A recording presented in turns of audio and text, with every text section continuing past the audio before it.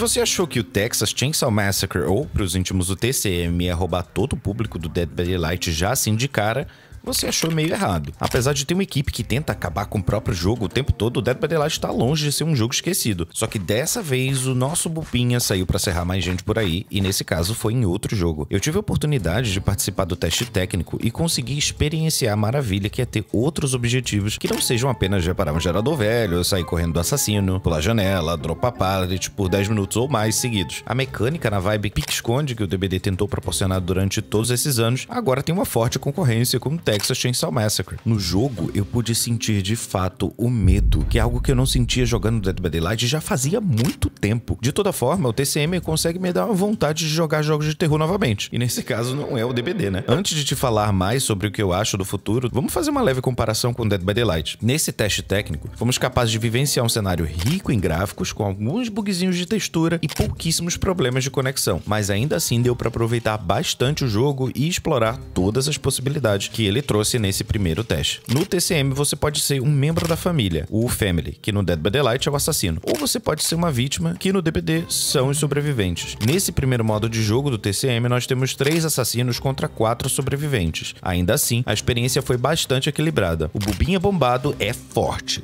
mas você, como sobrevivente, conta com um pequeno dash do Sonic que pode te ajudar a cair no buraco do porão e recomeçar sua escapada sem nenhum problema. Quando a partida começa, nós temos, obviamente, um Bubinha e mais dois dois ajudantes para executar todos os sobreviventes, que por sua vez começam amarrados no porão do Buba e precisam começar a procura por equipamentos para poder escapar da serra do cara de couro. O jogo tá tão empolgante mesmo no início que já temos algumas formas de escapar do jogo, abrindo uma das portas do porão, ligando o gerador que dá energia para a porta da frente, saindo pelo portão da frente da fazenda, consertando o cano de água ou consertando o fusível quebrado. Se tiver faltando alguma e provavelmente tá que eu não mencionei, deixa aqui nos comentários por favor. Precisamos ser sinceros aqui, e obviamente o Texas Chainsaw Massacre vai ganhar muitos fanboys ao longo dos meses. O jogo vai ser lançado em agosto de 2023 agora. Fato é que os apaixonados pelo TCM não irão abandonar o DBD. Ambos têm propostas diferentes. No TCM, você tem um jogo de terror real, onde você vai tomar susto, seu coração irá bater mais forte, a ansiedade por escapar aumenta cada vez mais e as suas falhas no jogo irão te punir muito mais. Como killer no TCM, você precisa agir com mais inteligência por conta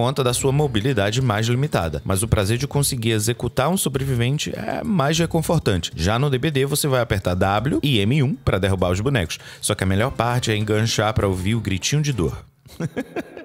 Esses são os comparativos, na minha opinião. Eu tô torcendo para que o Texas Chainsaw consiga mais fãs ao longo desses últimos meses. Hoje teremos mais testes para jogar e que eles consigam trazer melhorias significativas para o jogo, sem esquecer da parte que todo mundo mais gosta, né? Os cosméticos, skinzinhos, passos de batalha e etc. Esse foi o Texas Chainsaw Massacre. Se curtiu o vídeo, lembre-se que eu também já joguei um jogo muito bizarro que se passa num prédio abandonado e eu encontrei uma velha bizarra lá. Basta clicar no card que você está vendo na sua tela agora.